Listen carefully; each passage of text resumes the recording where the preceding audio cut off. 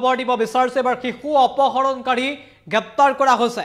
আৰক্ষীৰ জালত পৰিছে দুটাকৈ শিশু অপহৰণকাৰী আৰু মাজুলীত দুৰ্ধৰ্ষ শিশু শিশু অপহৰণকাৰী আৰক্ষীয়ে কৰায়ত্ব কৰিছে। সবিশেষ এইবোৰ ক্ষেত্ৰত টাইমেটৰ দৰ্শকসকলৰ বাবে লৈ আহিছে।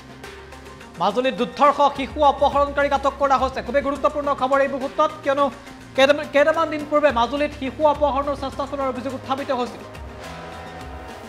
আৰু শিশু অপহৰণকাৰী কাৰীৰ অভিযোগত দিব্যজ্যোতি কুম্বাঙক আটক কৰিছে আৰক্ষীয়ে। গহপুৰৰ পৰা এটি শিশু অপহৰণ কৰি নি অৰুণাচলত বিক্ৰী কৰাৰ অভিযোগ উত্থাপিত হৈছে। আৰু মাজুলীৰ মিছামৰাৰ পৰা কৰায়ত্ব কৰিবলৈ সক্ষম হৈছে অপহৰণকাৰীটো।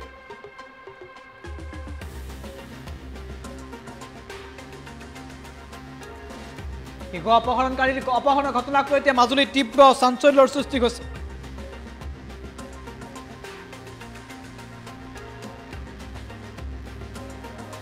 দুৰ্ধৰ্ষ শিশু অপহৰণকাৰীক আটক কৰা হৈছে মাজুলীৰ পৰা আৰু শিশু অপহৰণকাৰীক আটক কৰাৰ পাছতে মাজুলীৰ চাঞ্চল্যৰ সৃষ্টি হৈছে।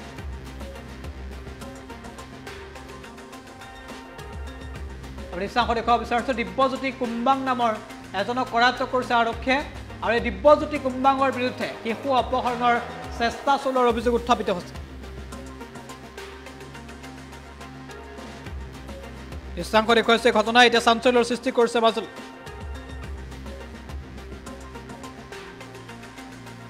আমাৰ এটা মন্তব্য আছে আগবঢ়াইছোঁ।